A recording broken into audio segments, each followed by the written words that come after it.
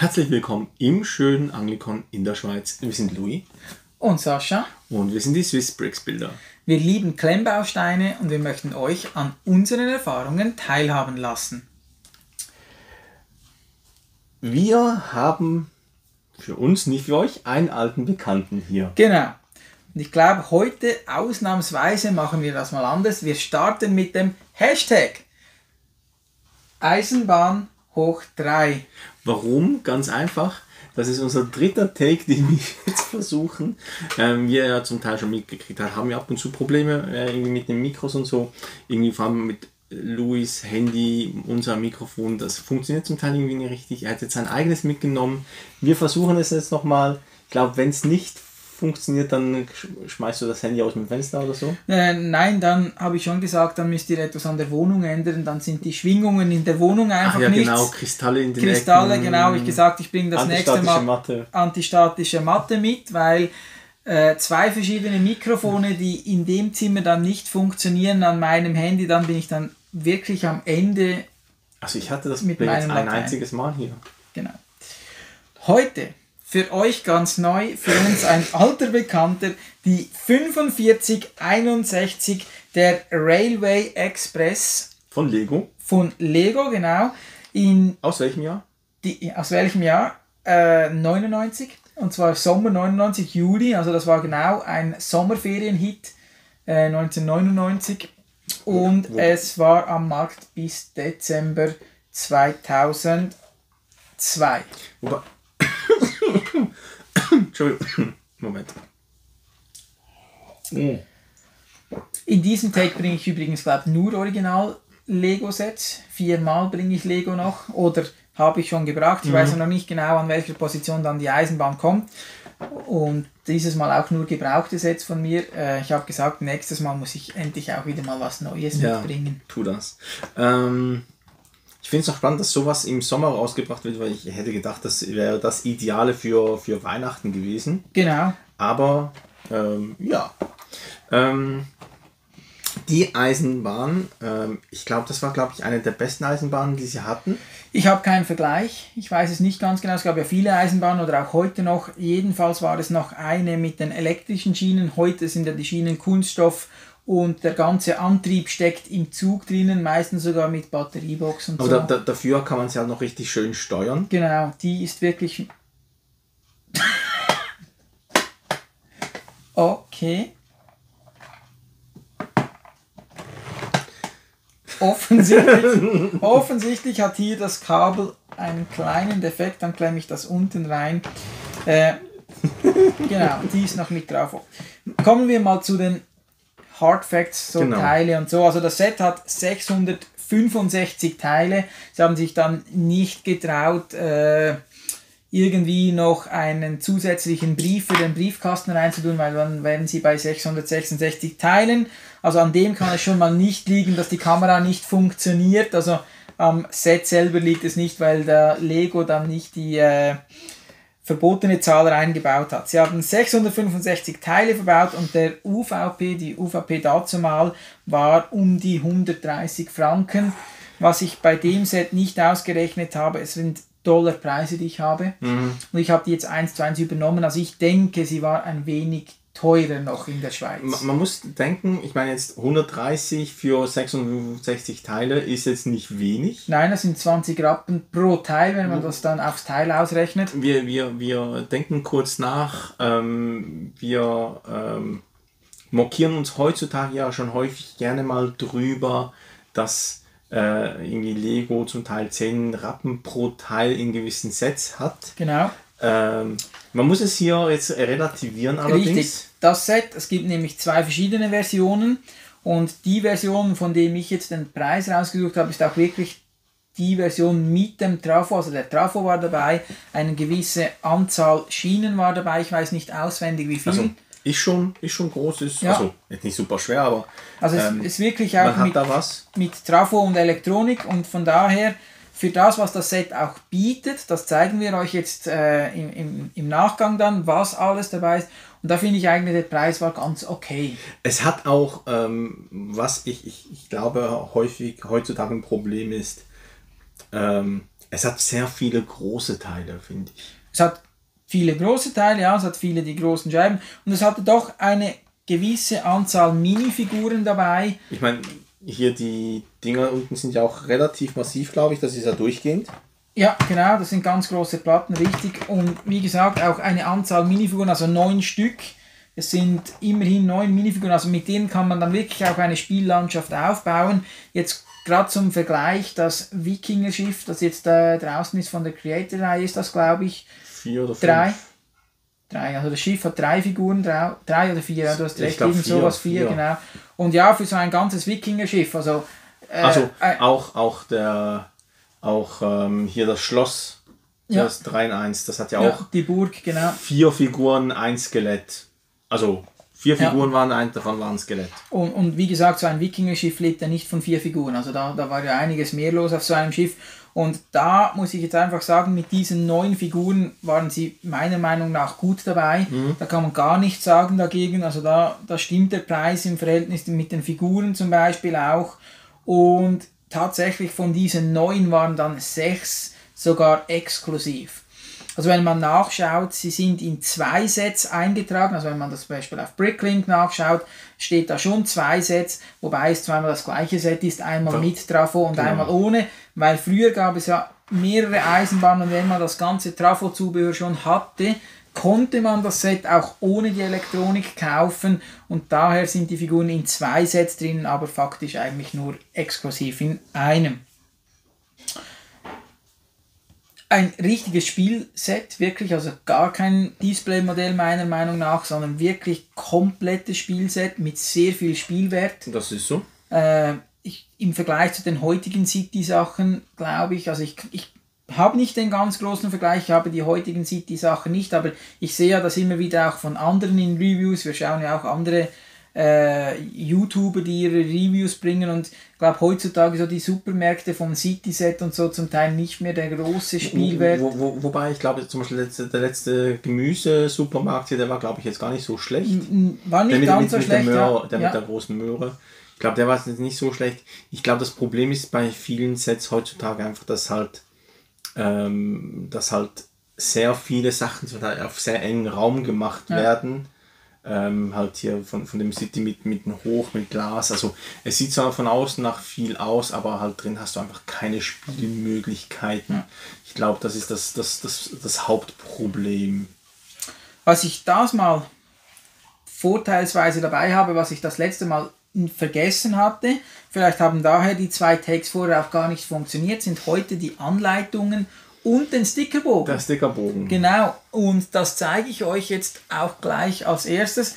Leider fehlen auf dem Stickerbogen zwei Sticker, die anderen Sticker sind alle noch nicht aufgeklebt, wobei ich weiß auch nicht, ob sie heutzutage noch halten würden. Warum hat sie ein Alien drauf?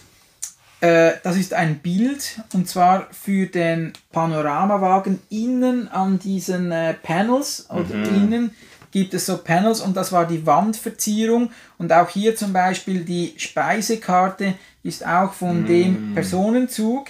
Okay. Dann haben wir eine, einen, Fahr einen Fahrplan, ja ich wollte schnell ablesen. Das ist Berlin, Prag, Hamburg und Paris. Also man hat den Fahrplan, der kommt dann hier auf diese Steine. Und die Blitze sind als Verzierungen unten für die Wagen gedacht und dann gibt es noch verschiedene Wagennummern. Mhm. Äh, genau, zwei verschiedene Nummern. Ich weiß nicht, sind das die verschiedenen Setnummern? 45, 61. Haben wir eine? Fünf- Nein, Nein, haben Nein wir gar nicht. 35, 69 und 32, 54. Genau. Wahrscheinlich hier jeweils und hier jeweils. Ja, genau. Das sind Ja, die ein paar fehlen, aber ich, ich glaube, die, die kleben mittlerweile wahrscheinlich auch nicht mehr ganz so gut. Nein, ich denke auch nicht. Was wir im Gegenzug aber hier haben, sind dafür geprintete Teile auch zusätzlich. Äh, zum Beispiel auf der Pizzabox sind geprintete Teile oder auch hier die Uhr und die Tastatur. Sascha zeigt euch diese Sachen später Der noch. Oktan. der Oktan. Er hat sehr viel Spaß mit diesen Sachen. Also bei den letzten zwei Takes äh, hat das Video einfach schon lange gedauert, Der weil. Sascha ganz viel Spielwert entdeckt hat. Sehr cool gemacht bei der Eisenbahn und da merkt man auch, das war wirklich ein Familienset für die ganze Familie. Es gibt verschiedene Anleitungen für fast jedes Bauteil hier. Vorteil, verschiedene Leute können bauen. Nachteil, wenn du ein Büchlein verlierst, äh, hast du das nicht mehr. Wenn du alles in einem Heft hast, dann kannst du das entweder wirklich auf die Seite tun. Nachteil, wenn du das verlierst, hast du gar nichts mehr. Ist so. Ist so. Und hier ist einfach schwierig, dass du dann alle Büchlein wirklich zusammenhalten kannst. Und ist aber ganz schön gemacht. Zum Beispiel einfach die Lokomotive ist ein Büchlein. Das heißt zum Beispiel, das eine Kind kann die Lokomotive bauen, das andere Kind kann die zwei Waggons bauen, der Papa kann die Autos bauen, wenn er Spaß hat an den Autos. Also so hat es wirklich für jeden irgendetwas dabei zum Bauen. Und die Anleitungen Lego-typisch, äh, wie sie auch heute sind, so, äh, auch damals schon. Wo, wobei man muss, also vom optischen her waren es halt früher noch ein Lego System. Genau. Und ich glaube, ähm, der Unterschied zu heute, Du hast keine du, Teile-Liste. du, du, musst, weißt- nein, du hast keine Teile, und du musst einfach von Schritt zu Schritt muss man halt immer schauen, was hat sich verändert. Genau, Und dementsprechend die Teile hervorsuchen. Das hat man heute halt nicht mehr. Hat der Licht hier vorne? Ja, aber ich glaube, das Licht funktioniert bei der Lokomotive nicht. Weil es wäre mir noch nicht aufgefallen, dass es funktioniert. Ja, ich, ich fiel mir noch gerade auf von der Anleitung her, dass hier eigentlich noch, noch, äh, noch was drin wäre. Ja, genau, aber das funktioniert nicht. Dann ein Buch, das Lego System Buch dazu, mit Aufbauanleitungen, Gleisplänen, was man alles für Schienenstrecken bauen kann und innen dann auch die Bauanleitung noch für andere alternative Wagen, die Das wir so cool. nicht haben. Also sie hat, hatte dann noch eine Bauanleitung dabei für alternative Bauwagen zum Beispiel, so ein, eine Art ein Industriewagen, Also ein, ein, eigentlich ein Au- Autotransporter. ein, ein anderer zusätzlicher Autotransporter und halt auch Das muss ich mir nachher mal ja, anschauen. wie viele Spielmöglichkeiten, dass man mit dem Set aufbauen kann. Das ist Äh, richtig cool. Wirklich, dass man so ein, ein Schneepflug bauen könnte mit zusätzlichen Teilen und so weiter. Das, war Das ist ja richtig cool. Etwas, was heutzutage auch wirklich oft fehlt. Äh, so einfache Inspiration. Es hatte keine Anleitung, wie man es machen muss, sondern einfach so Inspirationen, äh, was man noch alles bauen könnte. Was du jetzt weggelassen hast, hier sind zwei gerade Schienen. Richtig, weil wir einfach Was- was- was wenig jetzt- Platz haben auf dem Tisch. Was, was noch aber gut gewesen wäre für das Teil, um das zu zeigen, aber das können wir trotzdem nachher. Und sonst, ja, eigentlich fast alle Anleitungen gleich. Es sind dann die typischen Lego-Anleitungen. Was besser ist als in den physischen Anleitungen wie online ist die Farbtreue in der Anleitung selber. Also hier sieht man wirklich den Unterschied zwischen dem Blau und den Trans-Teilen. Vom Scannen und Hochladen der Online-Anleitung ist die Farbtreue leider verloren gegangen und ich habe auch zum Teil online gebaut. Und das Blau, das Dunkelblau, ist dort wirklich so ein hell Himmelblau. Also wenn wir schon bei Farbe sind, wenn ich ganz kurz Ja, Hier hat man silberne, ähm, diese Lüftungsschlitze, diese, ja. ich weiß nicht wie die heißen, Plate Modified wahrscheinlich einfach. Ja, also umgangssprachlich sagt man auch die Grill. Die Grill. Genau. Hier, ihr seht es hier vielleicht. Hm? Ähm, die sind silber gehalten. Richtig? Die, die, das Set ist von 99. Ja. Also irgendwo zwischen 9. Ja, ich denke Also wir 99 sagen, bis Pi mal, wir sagen 2002. jetzt Pi mal Daumen so 20-jährig. 20-jährig. Ja. Und die sind noch in astreinem Zustand. Genau. Wenn wir überlegen, wir erinnern uns noch an, der, an die Schreibmaschine von, Von Mold King, Mold King. von Jenny. Ähm, da ist der, das, das Silber, also das war ja nur aufgesprüht und das ist ja schon nach, keine Ahnung, nach, nach einem Monat angelaufen, als ob es Ja. kein Morgen gäbe. Also Ja, man kann ja ist viel, Qualität, man ich. kann ja viel sagen von Lego, von teuer bis äh, billig gemacht und so weiter. Gewisse Sachen sind einfach wirklich oder waren wirklich Qualität, die silbernen Grills. Und das Silber wirklich auch nicht abgeplatzt oder irgendetwas. Die alleine hauen es nicht raus. Nein, meine, sie haben schon noch mehr trotzdem. Sachen, aber, aber sie hatten schon einen gewissen Qualitätsanspruch und ich glaube Ja. auch, dass sie den heute auch noch zum Teil haben. Denke ich schon Nicht auch, ja. immer und überall, aber ähm, also das finde ich schon beeindruckend. Ja. Finde ich gut. Ähm, ja, wollen wir mal kurz die Punkte Vom Spielwert? machen wir am Schluss. Ah, du möchtest die Komplexität, Stabilität, Bauspaßsache noch bringen Genau, vorher. Ja, genau. genau. Also Komplexität ist nicht schwierig. Ich habe eine 2 von 6 gegeben tatsächlich. Äh, ist wirklich ein familientaugliches Set, ein Set, das auch Kinder aufbauen können. Ich habe jeweils immer in der Mittagspause meistens einen Wagen gebaut und ein kleines Fahrzeug oder so. Und ich habe also nicht die ganze Mittagspause bei der Arbeit verbraucht. Ich habe noch ein Mittagessen vorbereitet. Also meistens ist das ein kleiner Snack, äh, den man zwischendurch aufbauen kann. Ich habe hier für mich aufgeschrieben, außer die Online-Anleitung, die ist schwierig wegen der Farbe. Das habe ich vorhin gerade schon erwähnt, dass in der Online-Anleitung einfach die Farben irgendwie verloren gegangen sind, vor allem von dem dunklen Blau und da ein bisschen schwierig geworden ist. Stabilität habe ich mit einer 5 von 6 betitelt und da bin ich auch heute noch immer noch der gleichen Meinung. Das Set hat sich jetzt schon, ist schon zweimal hier hingezügelt. Äh, einmal in einer Kartonbox, dieses Mal in einer richtigen Rako-Box. Äh, ich habe mich da ein wenig abgegradet, damit die Sets ein bisschen mehr heile hier bei euch ankommen. Und bei beiden äh, Umzügen war wirklich alles noch dran. Also kein einziges Teil, was hier abgefallen ist. Lokomotive wirklich extrem stabil. Selbst hier einzig das da hat sich dann mal gelöst. Aber ja, das ist klar beim Transport. Auch hier bin ich dann nicht sicher mit dem Alter, ob die Teile dann wirklich noch die genau gleiche Klemmkraft haben. Wobei ich finde das. Ich finde es auch noch recht gut. Auch da wirklich nichts auseinandergefallen. Die Autos heile, hier alles ganz geblieben. Also wirklich Stabilität, muss ich sagen. Also könnte man sogar fast sagen 6 von 6. Wobei ist noch schwierig hier eine 6 zu geben, weil es halt nicht sehr viele Schmuckelemente dran hat, die abfallen können. Von daher gebe ich eine 5. Der Bauspaß für mich auch eine 5 von 6, weil trotzdem, dass man nicht sieht, welche Teile man hervorsuchen muss, ist es relativ einfach zu bauen. Wie gesagt, ein gemütlicher Snack. Man baut sich einen Wagen. Und wenn man Spaß hat an so einem älteren Vintage-Set zum das Aufbauen, äh, kommt hier der Bauspaß sicher nicht zu kurz. Man kann wirklich Wagen für Wagen entstehen lassen. Äh, man sieht, wie sich alles aufbaut, auch die Fahrzeuge oder hinten diese verschiedenen Boxen. Äh, die zeigt euch dann Sascha noch. Ich möchte nicht groß vorgreifen, was für Boxen das sind. Auch die spaßig zum Bauen. Ja, man erkennt sofort, was es darstellen soll. Und von da hat man das Set sehr viel Spaß gemacht zum Aufbauen. Äh, würde, wenn ich könnte, eine Kaufempfehlung aussprechen für das Set. Äh, kann ich machen, dann ist das einfach Werbung für meinen eigenen Job. Äh, klar kann ich da jetzt nicht sagen, nein.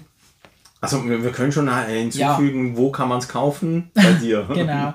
Äh, nein, auch wenn ihr das Set irgendwo anders seht und wirklich die alten Eisenbahnen liebt, ich glaube, mit dem Set man, ma- macht man wirklich nicht viel falsch.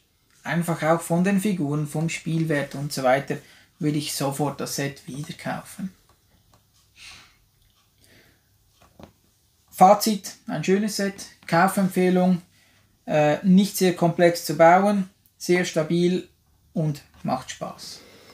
Ich persönlich, eben, ich, ich habe es ja nicht gebaut oder sonst was, ich persönlich finde es einfach wirklich cool. Es ist ein Set, mit dem kann man spielen. Ja, Und zwar, wir haben es ja schon zweimal getestet, da, äh, da passen auch unsere, unsere erwachsenen Griffel rein. ja, genau. Wir können das jetzt gerne mal zeigen. Ähm, wir haben ja verschiedene Sachen. Wir haben ja äh, den äh, Zug. Wir sind, wir sind heute auch so spontan. Wir, wir äh, zeigen hier noch ein kleines Gimmick. Ich bin da nicht mehr so überrascht drüber. Mittlerweile weiß ich es ja. Ähm, ja, äh, fangen wir doch mal äh, hinten an. Beim Güterwagen Genau. quasi. Ähm, ihr müsst euch das jetzt vorstellen, man hat hier eine gerade Strecke. Hm? Äh, das Coole ist, dass das eigentlich so, eigentlich so eine Art ähm, Übergang, also so ein, so ein, so ein ähm, äh, wie nennt man es, äh, äh, wie zum Beispiel Eine, eine Laderampe. eine Laderampe, wie zum Beispiel hier bei uns in der Schweiz. Äh, Lötschbergbahn. Genau, die Lötschbergbahn, Ja. wo man halt mit dem Auto reinfährt in den Genau. Zug, ist hier so ähnlich. Bisschen anders, aber sonst ähnlich. Man kann hier beide, das finde ich schon mal sehr nice, beide Seiten aufmachen. Ja. Also das heißt, es, kommt, es, es spielt keine Rolle, wie man den Zug dann auf das Gleis stellt. Es gibt keinen Falschrum. Also es ist halt wirklich, ich komme hier mit, mit der Hand durch. Also es hat Platz. Ja. Wo man halt beieinander so, ich komme nicht ran, hier, eine erwachsene Hand geht durch. Ähm, man hat hier die Möglichkeit, ähm, wir haben hier zwei Autos, die man verladen kann. Ähm, die haben Platz hinten noch für Koffer. Äh, der steht jetzt im Auto. Ähm, übrigens, es wird heute immer gesagt, ja, früher war alles besser. Äh, auch früher hatten sie nicht unbedingt Sitze drin. Steuerrad ja oder eine Tür. Oder Tür Mhm. oder Dach oder irgendwas. Gut, haben Also- sie nicht klar. Ist jetzt halt, ich meine, das ist auch ein, ein, ein, ein quasi vier, äh, äh, vier äh, Brick breites Auto. Wird ja auch heute schon bemängelt. War früher zum Teil auch nicht anders. Genau.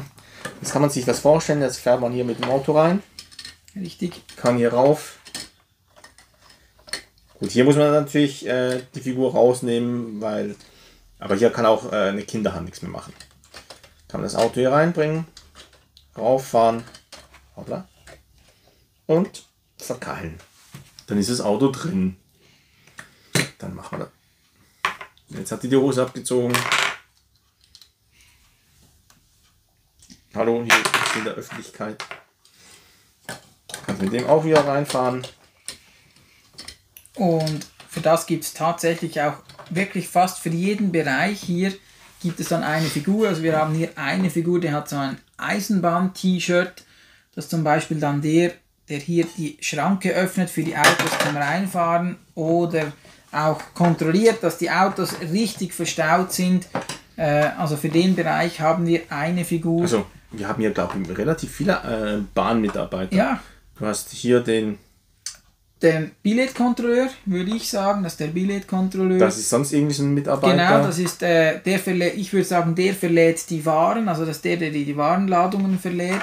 Dann der Lokomotivführer, meiner Meinung nach mit der Lokomotivführerkappe, ein Fahrer von einem Auto und das Ja, ist ein Tourist und irgendwo ist noch die Frau, eine Touristin. Die ist irgendwie so, die fährt hier, glaube ich, irgendein Auto. Die Touristin ist hier. Genau, da gibt es die Touristin Der mit dem Kameramann. Fotoapparat. Also das sollte dazu mal ein Ehepaar darstellen, würde ich sagen. Auch so in der Beschreibung gesehen. Dann Einer mit Geld. genau der, mh, eine Person vom Geldtransporter und dann hier nochmal ein Fahrer vom Auto und sie fährt das zweite Auto, genau. Also wirklich für jedes Auto eine, ein, äh, eine Figur, dann für den Transporter eine Figur, für die Kiste eine Figur. Also wirklich, es hatte da wirklich in Es- jedem Teilbereich den es- Spezialisten. Genau, genau. Es, es, es, die Plätze sind benannt, äh, Ja. be bemannt. Und dann kann man hier die Kisten, und jetzt kommen wir zu verschiedenen Kisten. Wir haben hier zum einen eine äh, äh, Essenstransportbox mit Pizzen drin.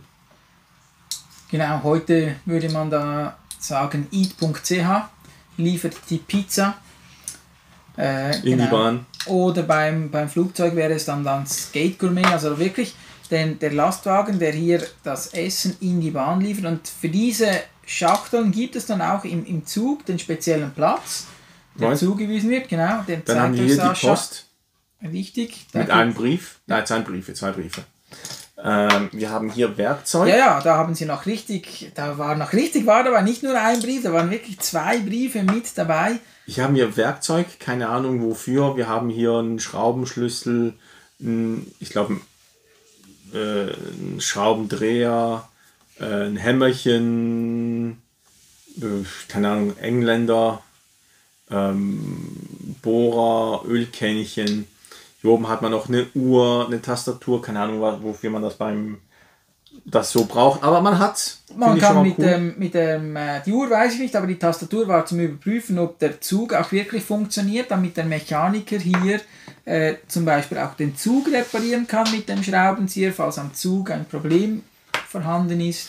Dann haben wir hier noch von Octan ähm, hier irgendwas zum Tanken oder so. Ja. Da haben wir, glaube ich, darüber diskutiert, was, was, was die Idee dahinter ist. Das tatsächlich weiß ich nicht ganz genau, was Aber- bei dem wirklich die Idee dabei ist. Aber man hat's und es ist irgendwie cool. Und Tatsächlich sehe ich da bei der Box am wenigsten Spielwert, weil es hat ja keinen Tank dabei mit Benzin. Also man kann hier kein Benzin lagern. naja, vielleicht Ja. ist ja im, im, im Irgendwie das fast das einzige sinnfreie Teil, das dabei ist. Naja gut, ich meine, die haben auch alle keine arretierbaren Daumen, von dem her. Ja, ja.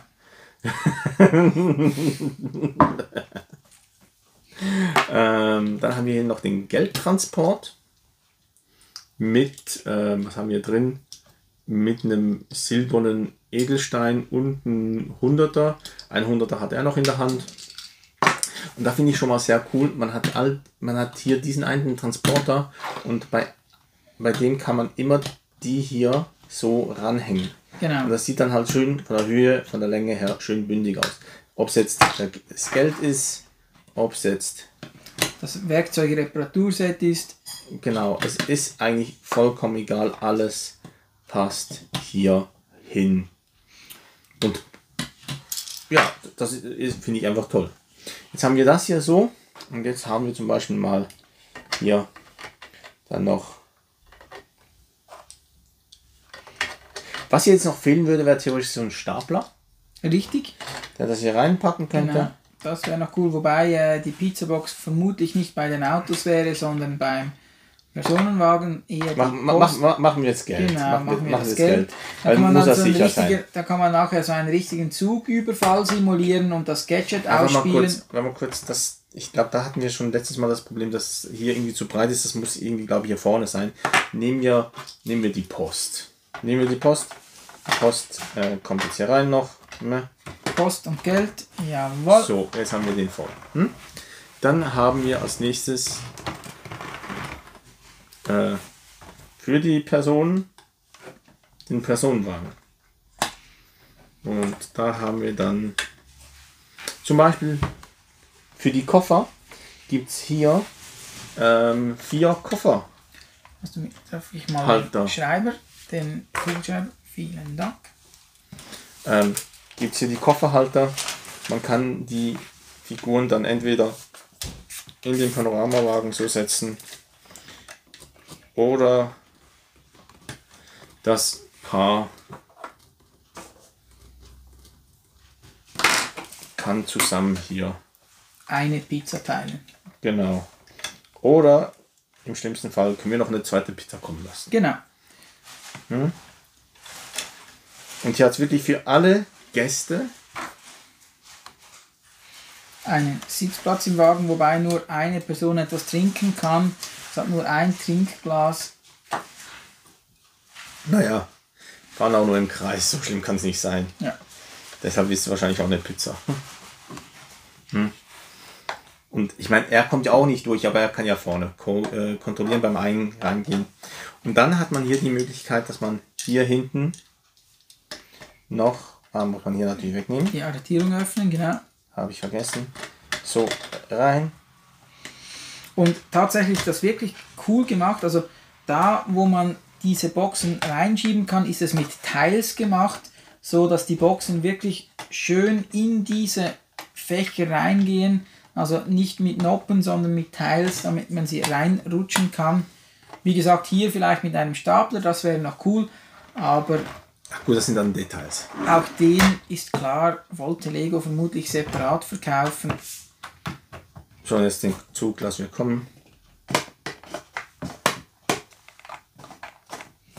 Und der Vorführeffekt. Tatsächlich hier die Kabel vom Alter und vom Spielen her nicht mehr in Top-Zustand. Aber ich glaube, da kann Lego nichts dafür. Also ich würde sagen, dass jener das Problem, wie mit den Kabeln umgegangen wurde. Hier noch spannend. Hier hat man auch nochmal äh, fünf Prints, äh, drei Prints. Einmal ähm, äh, irgendwas mit einer Uhr mit 15, dann noch ein Bildschirm und eine Tastatur. Schon mal sehr cool. Und ich meine, sind wir realistisch, wahrscheinlich die meisten Kinder haben irgendwann wahrscheinlich mal einen Zugunfall. Äh, Oder ein Zugüberfall. Schließlich haben wir hier noch äh, Diamanten dabei. genau. Und das Positive, wenn hier mal mit dem Zug was passieren sollte, Genau. Sascha hat es schon in den Händen. Es ist richtig gut versteckt, das Feature. Das ist es schon, ja. wäre da nicht noch was drin? Nein, du hast es schon in der Hand. Das, was du in der Hand hältst, ist das Feature. Du musst die Abdeckung wegnehmen und es ist gut geschützt und versteckt. Du kennst das ja. Mal kurz. Kann man das nicht. Hm? Ah ja, stimmt. So. Genau. Ich, ich war jetzt gerade wieder ver ist schon ein Weilchen her, seitdem wir das letzte Mal nochmal hatten. Genau, hier kann man aufmachen. Hier hat man nochmal ein paar Prints. Die Blackbox. ja. Tatsächlich hat der Zug eine Blackbox drinnen, damit man beim Zugunfall auch rekonstruieren kann, wie du das geschafft hast, den Zug entgleisen zu lassen. Das ist Saschas Lieblingshobby. Äh, Züge entgleisen. Zu, zu schauen, wie stabil der Zug hier auf den Schienen fährt. Eins vorneweg, er fährt gar nicht mal so schlecht stabil. Also ja, vor allem in einem, in einem rechten Tempo. Mhm. Also Achtung, ein bisschen vorsichtig, weil. Hm.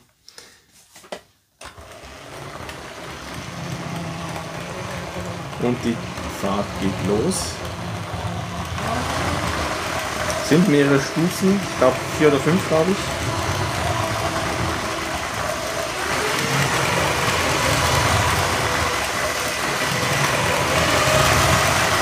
Also die ersten mögen jetzt schon keine Pizza mehr. Nein.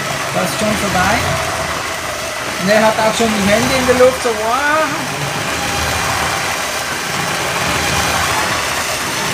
So, wir sind beim Maximum. Und also man sieht hier schon die Schienen.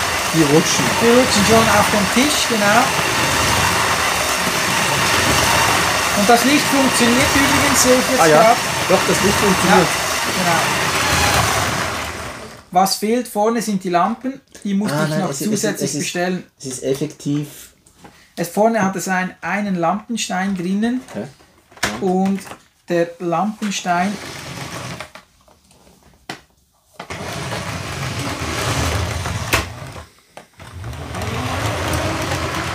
Es ah. hat einen Lampenstein drinnen. Das kann man übrigens noch genau. hinten rein.